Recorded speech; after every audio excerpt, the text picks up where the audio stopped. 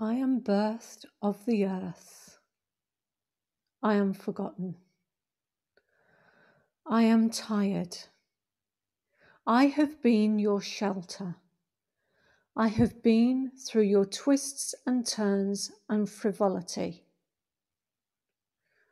I am tired.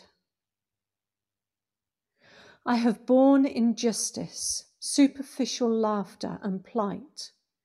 I have held space for you when you were dying, and I have seen so many come and go. I am tired to the point that I no longer know myself.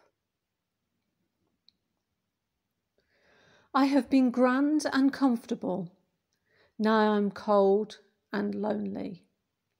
You come and go, but don't remember me. You don't include me. Yet I am still here. I am the bringer of your dreams. I no longer dream. I used to, but I'm tired. I used to watch you play and laugh. I drank it in. It fed my soul and warmed my foundations, but now I am tired. I am fragile where I was strong.